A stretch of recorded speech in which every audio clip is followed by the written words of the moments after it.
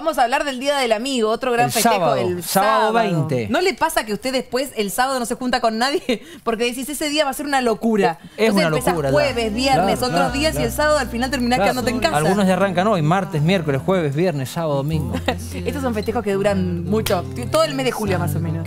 Bueno, lo que sí sabemos es que el próximo sábado, sobre todo, un lugar que muchos eligen para pasar el día, es el Parque General San Martín. Se van a poner controles exclusivos para, bueno, los festejos y para que todo esté seguro y tranquilo, para que se pueda festejar como debe ser. Gran operativo de seguridad. Va a ser un día normal, festivo, esperemos que sea un lindo día de festejo y que esté todo en los carriles normales.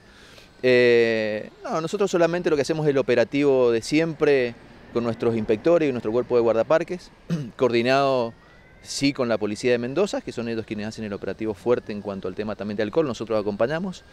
Eh, y sí vamos a ser eh, inflexibles en esto del control del, del alcohol, eso sí va a ser un tema a, a- a tener en cuenta por parte de la dirección de parques. ¿Hasta qué hora podrán estar eh, los estudiantes, también digo los amigos aquí en, en el parque? Bueno, nosotros generalmente lo que son, en- más que nada en, en las épocas de verano, hay, hay una especie de control a partir de las 2 de la mañana.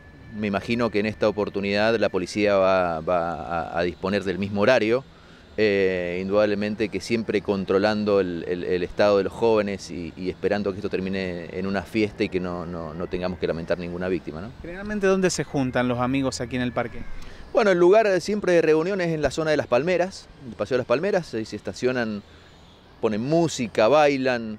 eh, bueno, esperemos que sea una linda, una linda velada. Colocado 13 puntos verdes, dispuestos en distintos sectores del parque, lo que nosotros consideramos los sectores más, más concurridos por la gente.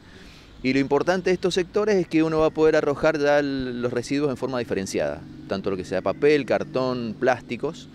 Para eso hemos colocado contenedores, como decía, y contamos con un servicio de recolección diferenciado. Esto es importante declararlo, eh, porque muchas veces eh, hemos visto que se hacen eh, separación en el lugar y justamente después pasa un camión y recoge todo y tira todo al mismo lugar. Bueno, en este caso estamos siendo un puntapié importante donde nosotros tenemos un- una, empresa que es la limpieza del parque y que justamente tiene el camión compartimentos para poder ya ir separando directamente el tipo de- de basura, ¿no?